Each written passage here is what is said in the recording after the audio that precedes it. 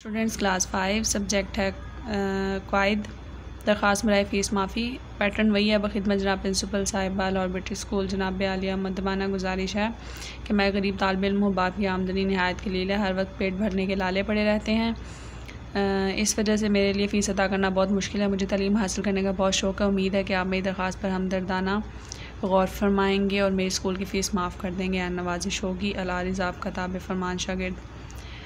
इसकी लर्निंग करनी है, क्योंकि ये ऑलरेडी रिटर्न हो गई हुई है। नेक्स्ट आ जाते हैं अदब पर। अदब का यूनिट नंबर फोर कराची के शिकारी पार्ट वन अल्फाज मायनी भंवर, समंदर या दरिया के बीच में पानी का ऐसा जगह जो हर चीज़ को गहराई की तरफ़ खींचता है। तंदरुस्त, सेहतमंद, सुख, चैन, आराम सुकून, कौम, एक नस्ल, एक फ़लक या मज़हब के एक मुल्क या मज़हब के लोग। माहीगीर वो लोग जिनका पेशा मछलियाँ पकड़ना है, मेहनत कश, मेहनत मजदूरी करने वाले।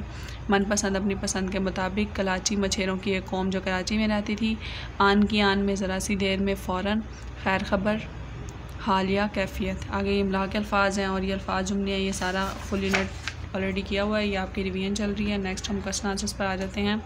कराची क्या है? बहुत ज़माने पहले कराची को कराची कहते थे। समंदर के किनारे एक छोटा सा गाँव था, जहाँ मछेरों की एक कौम कराची रहती थी। इस नाम पर इस बस्ती का नाम कराची पड़ गया। छोटा भाई घर में क्या करता था? छोटा भाई घर में अपनी बीवी और बच्चों के साथ दूसरे भाइयों के लिए मछलियाँ भूनता और उबले हुए चावल बनाता था।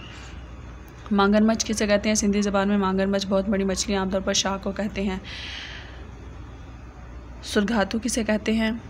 सिंध के मशहूर शायर अब्दुल लतीफ़ भटाई ने सुरघातु लिखी, मछेरों को आदम खोर मछली से किसने निजात दिलाई? सबसे छोटे भाई ने मछेरों को आदम खोर मछली से निजात दिलाई। और यह है इसका खुलासा, ये भी आपने अपनी फ़ाइल पर लिखा हुआ है। तो कायद की है, फ़ीस माफ़ी की दरख्वास्त और अदब का ये यूनिट है। इसकी लर्निंग बेटा अच्छे से कर लीजिएगा। Take care.